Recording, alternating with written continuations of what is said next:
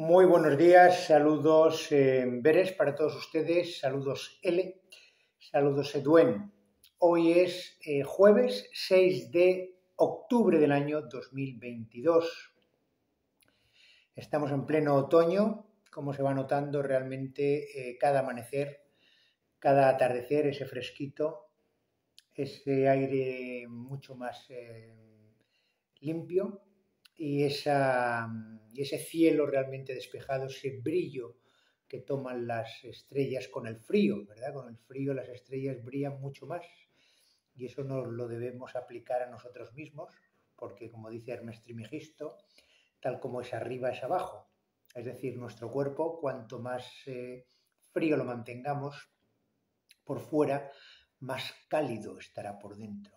Si no, ese calor que debemos tener por dentro eh, se disipa, se pierde, se, desparrama, que es lo que le pasa normalmente a la mayoría de los seres humanos, pues que desesparraman en placeres, en búsqueda de, sensaciones baratas, efímeras, en búsqueda de, de fama, de prestigio, de ser muy conocidos, de adulación, y todo eso al final pues acaba en en una tragedia interior que pocos reconocen, pero que casi todos expresan cuando llegan a una edad y realmente eh, sus caras, su semblante, su expresión, como dice la, frase sabia, el alma es el, perdón, el, rostro es el espejo del alma, o la cara es el espejo del alma, y ahí se les ve a las gentes cuando tan solo hablan de desgracias, de preocupaciones, de enfermedad, de tragedias, de angustias, de miedos. Y esa es la vida que nos ofrece pa cada día, cada amanecer.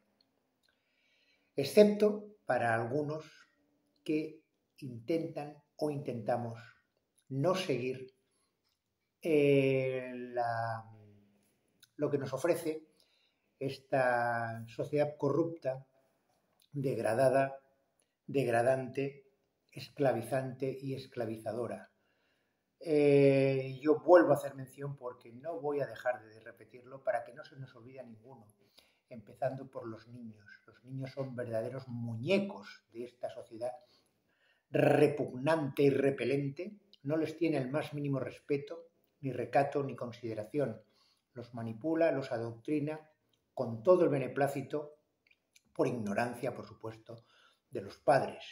Los padres sacan a pasear al perro con el niño o al niño con el perro. Yo la verdad es que ya he perdido eh, la consideración de que si es que sacan al perro y como sacan al perro se llevan al niño, o sacan al niño y como llevan al niño al parque también llevan al perro para ver si juegan los dos.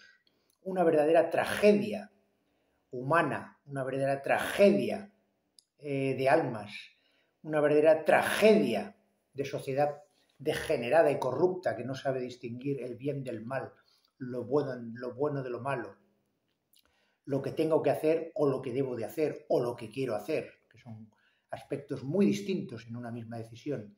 Yo puedo querer hacer algo, me apetece hacer algo, pero tengo que analizarlo profundamente y decir, lo puedo hacer, lo debo hacer. Eh, ese es el punto. Se ha perdido absolutamente la reflexión interior, la crítica, la autocrítica y con ello la moral, los valores éticos, los valores mm, que se pueden transmitir a los niños y a los niños los valores que le transmiten es la competitividad, que todo es posible, que los papás son unos conseguidores de cosas, que están en una especie de circo y, y así vamos. Así que vamos a entrar en materia porque precisamente les vamos a hablar de todo lo contrario, de cómo vivieron nuestros antepasados, cómo nos enseñaron a vivir y cómo algunos todavía eh, mantienen contra viento y marea esa forma de vida auténtica, serena, tranquila, bajo las leyes de Dios Todopoderoso y bajo el amor de nuestra queridísima Maestatu, que son los seres que nos han enseñado, lógicamente, con Dios de Alexandre como enviado de Dios Todopoderoso, a vivir y a recorrer este camino mientras estemos en esta tierra. ¿De acuerdo? La palabra que hoy hemos escogido para transmitirles a ustedes es una palabra muy conocida últimamente, porque hay, varias marcas, hay gimnasios y hay sobre todo un yogur muy famoso eh, de todas las marcas, un tipo de yogur que se llama oikos. ¿A qué les suena? Yo creo que sí, que casi todos hemos oído esta palabra, ¿verdad? Oikos.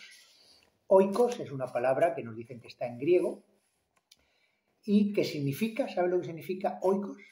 Pues significa familia en griego. ¿Se dan cuenta qué bonito? Oikos significa familia. Entonces nosotros, si profundizamos eh, en esta palabra, que nos dicen que significa familia, pues entonces lo que tenemos que hacer es buscar la referencia eh, que hay en Grecia con esta palabra y la encontramos en una corriente filosófica que se llaman los estoicos. ¿eh? Los estoicos, encabezados por, bueno, el más representativo es Zenón y también Marco Aurelio, el emperador romano, ¿no? Marco Aurelio, que era de los estoicos. Entonces ahí ya tenemos estoicos, ya es una palabra, ¿ven? Ya está eh, unida con estoicos. ¿Y nosotros qué sabemos? Pues sabemos que estoicos, est, EST, viene de estar, de, acabar, de, establecerse. Recuerdan que le hemos explicado esta palabra porque está en la Bibele. Cuando ellos hacían una casa y estaba lista, decían, pues ya está, que es lo mismo que nosotros utilizamos ahora, ya está, he acabado, he concluido.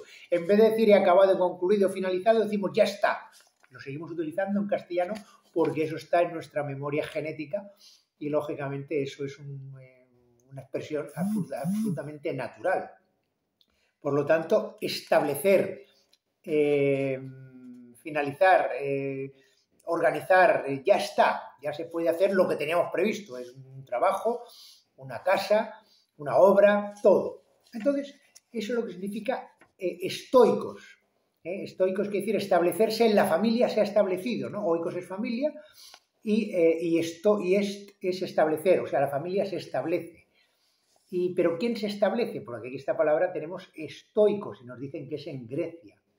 Estoicos, pues aquí hay una pequeña manipulación del lenguaje y, nos y vemos que si cambiamos esta O y esta I, porque aquí hay una K clarísimamente representativa, nos vamos a estucos. ¿Se dan cuenta qué bonito? Estucos, eso ya nos cuadra más, porque ahí están los UC, los UC, es decir, ¿quién se establece? ¿Quién se establece y enseña lo que es, cómo se tiene que vivir? Los UC, los UCOS, los UCOS, los del rey de Ardanos. Y ellos se establecen en Grecia y lógicamente enseñan, y hoy nos ha llegado como esa corriente de los estoicos, ¿no? Entonces, ¿qué establece la enseñanza de los UC? ¿Se dan cuenta qué bonito la enseñanza de los UC? ¿Y qué nos dice la filosofía eh, o la forma de ser, vamos a decir, la enseñanza de los UC? Nos dicen que eh, los UC establecieron ciudades en forma de ciudades-estado, con independencia total eh, económica, social y organizativa, como, como se establecían pues todos los, los ya sabemos, ¿no? pero es muy bueno recordarlo. Entonces, estos estoicos eh, tenían, en la familia había el cabeza de familia que se llamaba Telestai. Telestai era el cabeza de familia y era el más anciano, el de mayor edad era el que dirigía la familia. ¿Cómo nos enseña Alessandro Leazar? Eh, siempre el, que era juez en, una, una, colectividad, en una aldea, era el más el de mayor edad, ¿correcto? Y prácticamente era el que eh, dirigía el Burubatshar. Era el Burubatshar, estaba dirigido por el de más edad, que era sinónimo de sabio, de sabiduría, porque había atesorado una experiencia de vida que lógicamente carecían pues todos los demás que eran mucho más jovencitos. Entonces nos dice que el hombre de más edad pues era el que dirigía a su familia y a todos sus descendientes. Todos era el, el en fin, el, el Dios, ¿no? El inteligente, y era por lo tanto, como Dios Todopoderoso hace con nosotros, pues nos dice, nos, organiza y nos indica lo que tenemos que hacer en cada momento. Pues eso, en un fractal, proporcionalmente, en cada familia, en cada pueblo, en cada colectividad, pues eh, había todo ese tipo de, eh, organización. Y nos dice que los estoicos, su vida estaba organizada en torno al funcionamiento del oikos, es decir, de la familia, eh, con las satisfacciones básicas, así como el aspecto ético y espiritual. Era la forma de vivir, es decir, siempre estaban, como es natural, anteponiendo el aspecto ético y espiritual sobre lo material. Los estoicos nos dicen que eran gente, eran seres indiferentes a las comodidades materiales, a la fortuna externa y tan solo se guiaban por la virtud y por la ataraxia, por la ataraxia. La ataraxia es una palabra que nos dice que es eh, carencia de, mm, pues de preocupaciones materiales, lo mismo que estamos diciendo aquí, y realmente pues eh, se ocupaban de su aspecto interior, de su serenidad, de su calma, de su sabiduría, de su tranquilidad para enfrentar cualquier situación y poderla, eh, poderla resolver de una manera elegante y certera. Unos de los, seres más eh, representativos de esta corriente históricamente son Séneca, Zenón de, de, Sitio, Zenón, Zenón que es el bueno del Zen, todos esos nombres que vienen de la guerra de Troya, y Sitio es el sitio de Troya, ya lo, ya lo hemos explicado en otras veces. Todo esto son palabras eufemísticas, no son los nombres exactos, pero bueno, se pueden referir, pues, lógicamente, a algunos de los capitanes de, Troya que se establecieron eh, en esa zona, ¿verdad? Luego tenemos a Séneca, a Epícteto y a Marco Aurelio como los más representativos de esta corriente de, eh, de los estoicos. Mm, ¿Correcto? Entonces ellos decían, nosotros no podemos controlar el exterior, sin embargo sí podemos controlar nuestro interior. Y si controlamos nuestro interior, haremos frente a los eventos que nos puedan venir o que nos puedan ofrecer en cada momento los seres que están fuera de nosotros, ¿correcto? Así que eh, eso es oikos y les vamos a decir para terminar que hay una palabra en castellano que se llama estuco. ¿eh? Fíjense que es la misma, es estuco. Estuco la utilizamos en castellano, pues ustedes sabrán, los que hacen obras, los que se dedican a la albañilería, es una forma de lucir, ¿no? Las paredes, los techos, y además de hacer figuritas con yeso, eso se llama el estuco. Eh, dices una masa blanca de yeso con la que se hacen objetos y luego se doran, se adornan o se pintan.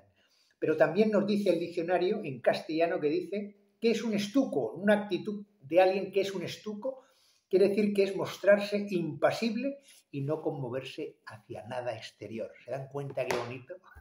Confirma absolutamente lo que les estamos diciendo. Los estoicos son los que los que, eh, la enseñanza que enseñaron los Uc, los, eh, del rey Dardanos, en, no solo en Grecia, por supuesto, esta palabra es, griega, pero no solo en Grecia, sino básicamente primero en Iberia, como siempre tenemos que repetir, y luego de Iberia al mundo entero, a Italia, a Alemania, a Francia, a Suiza, a Grecia, eh, a Turquía, a la India, a la China y América. A todos los seres les enseñó o el rey Dardanos eh, directamente o sus descendientes y herederos a vivir como Dios manda, como verdaderos estoicos, como verdaderos estucos, con Dios hasta el final.